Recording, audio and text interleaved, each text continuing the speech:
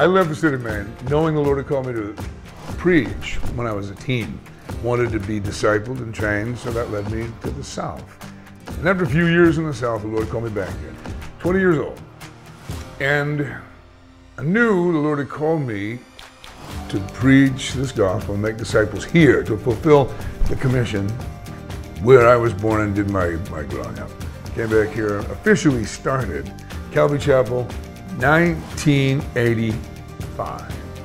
So how many years is that? However many years that's been, me and math aren't tight. It's been that long.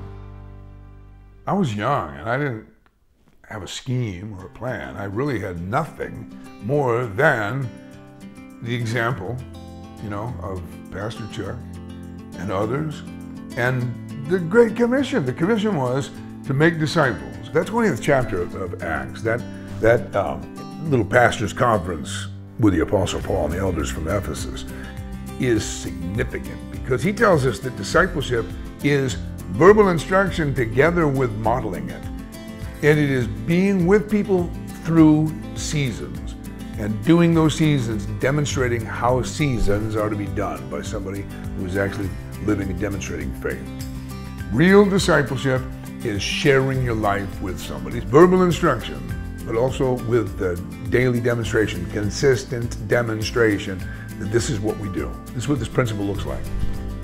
And if you're discipling, then you're discipling people to disciple. You're discipling disciplers. You're training trainers.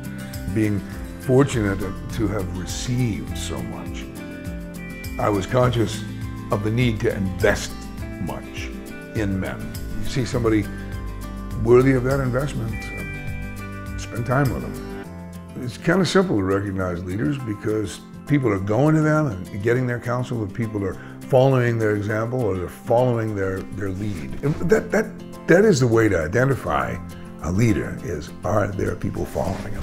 In some cases, there, are guys you look at and you go, you know too much to be just sitting here nodding. You know too much. You need to go take what you know somewhere.